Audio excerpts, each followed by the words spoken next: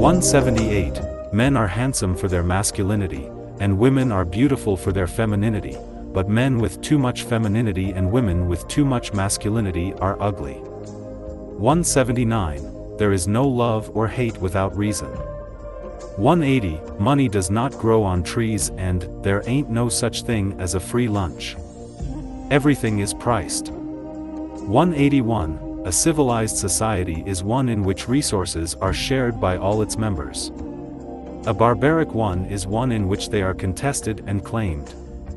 182. Everything is good in moderation but poisonous in excess. 183. All conflicts are irrational. 184. Throwing stones at each other is barbaric behavior. 185. A timely compromise is wise and a timely retreat can move you forward. 186. Associate with people but do not form cliques with them. This is a great quality of civilized people.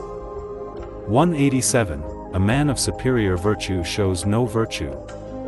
A man of superior mercy demonstrates no mercy. The great image has no image.